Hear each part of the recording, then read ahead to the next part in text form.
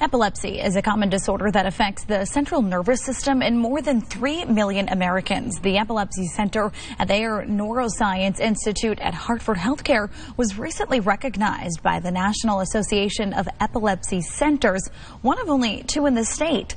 Joining us now to talk about it is Dr. Gabriel Martz, Medical Director of the Epilepsy Center. Thanks for taking the time to talk with us today. Mackenzie, thank you. Well, it may surprise many to know that people may not even know that they have epilepsy. Can you explain how it's possible that someone may not even be aware of this? Yeah, seizures can be uh, very mild or very severe. Severe being what we think of, where someone might fall down and shake, but milder seizures can still involve the memory centers of the brain, which means that part of the brain is having a seizure and can't make memories. So often people will have subtle seizures, maybe blank staring, and not even know because they won't have any memory to know that they had a seizure. Well, kind of like you just talked about, there is a wide range of some of the symptoms. Can you talk about what epilepsy is for maybe someone who may not know and what some of the symptoms are that people may also not know about? Yeah, basically, epilepsy is defined as having seizures. Your brain is able to make seizures. Seizure being something that happens in a given moment in time.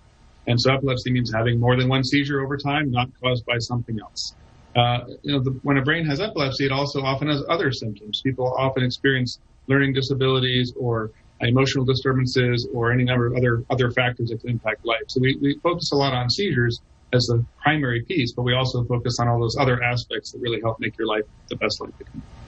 And specifically, when we talk about refractory epilepsy, can you talk about what that is?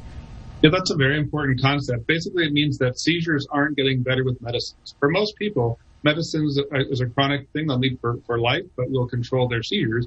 For some people, it simply doesn't work. And even on multiple medicines, two or three medicines, they're still having seizures. And that is the definition of refractory epilepsy. And it tends to come along with those other factors I described, learning challenges or, or thinking, dizziness, a lot of other symptoms like that. So we, we focus a lot on refractory epilepsy because we want people to be, know that there are other treatments besides medicines and that sometimes optimizing their medicines can help you. And we mentioned it a little earlier in this interview, but being recognized by the National Association of Epilepsy Centers, pretty exciting. Congratulations. How does this set you apart? And what kind of treatments are available? Well, we strive to bring the best care possible to anyone in Connecticut who can access our clinics. We have seven clinics around the state including Northfield, Cheshire, Bridgeport, and we'll soon have one in Mystic. So basically what the level four recognition means is that all the work we've put in to provide that great care to people in, in, in Connecticut, uh, it, we've achieved it.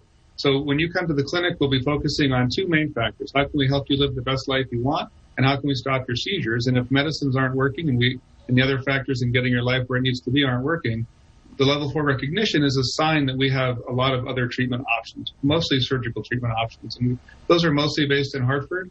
Uh, and it's taken a lot of work to build up all the pieces we need to really make sure that we're doing a safe job and that we're giving uh, surgery to the people who it'll really benefit.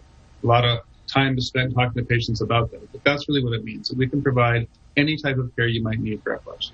And if we have people at home who are watching and want to know how they can reach out, you just saw it there on the bottom of your screen, that link, hartfordhealthcare.org backslash epilepsy. Dr. Martz, thank you so much for all the work that you're doing at the center. My pleasure. Thank you for your time.